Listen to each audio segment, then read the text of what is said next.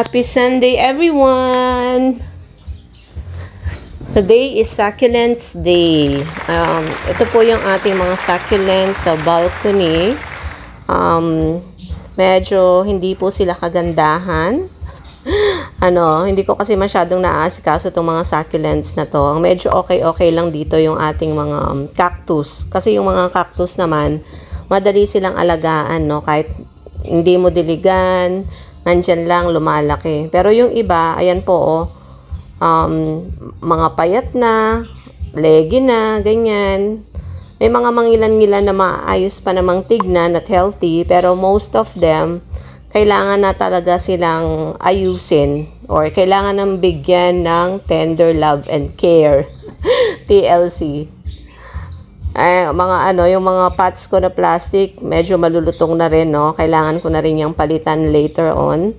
Pero for um, our activ- activity for today, ang gagawin ko is pipiliin ko yung mga succulents na kailangan na nating ayusin. Mga succulents na kailangan nating ikat tulad nito na sobrang leggy na, no? At kita nyo ang papayat na nito nitong anong to, succulent na to, ang papayat na ng mga dahon, um, ang leggy na. Um, so aayusin ko po 'yan. Uh, may mga iba pang mga succulents dito na kailangan ko ring i um, i-prune. So, samahan niyo po ako um, as I do my restoration. Oh, 'di ba restoration talaga? Restoration nitong ating mga mga succulents na pwede pa po nating isalba or pwede pa nating pagandahin. Um, hopefully um, mapaganda natin, no? mapabalik natin yung ganda nitong mga succulents natin. Ayan, madami akong mga succulents dito na leggy na tulad nitong hawak ko ngayon. So, isa to sa ipoprune ko. Um, ayan pa. Ayan o, oh, kita nyo yan. Yung Korean succulent po yan na kailangan ko na ring iprune. So, pipiliin ko muna kung alin-alin dito ang aking pwedeng ayusin. Tapos, um, ayan, madami na rin po akong pots na bakante. Ibig sabihin namatay na yung mga original, na, original plants na nakatanim sa kanila. Um, yan po yung mga kukuhanin ko din at yan ang gagamitin ko uh, o tatamnan ng mga bago nating cuttings. So, ayan, ito ang isa sa ating mga kailangan